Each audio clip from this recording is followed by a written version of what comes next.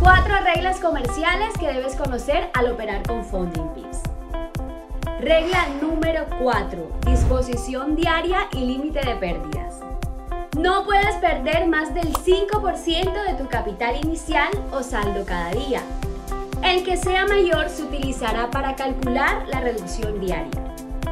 Su cuenta no puede bajar el 10% de su tamaño inicial. Este es el límite máximo de pérdida. Número 3. Actividades comerciales prohibidas. No se permiten operaciones con brechas, no se permiten operaciones en alta frecuencia, no se permiten operaciones con cuentas opuestas ni operaciones de copias. El arbitraje inverso, el spam en el servidor, el flujo comercial tóxico y la especulación de tics.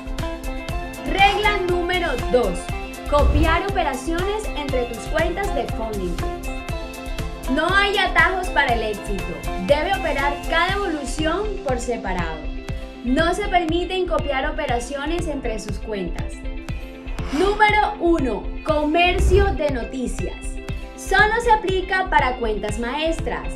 Esto significa que no puedes abrir una posición antes o después de dos minutos de una noticia de carpeta roja. Digamos que abrí una posición dentro del plazo prohibido.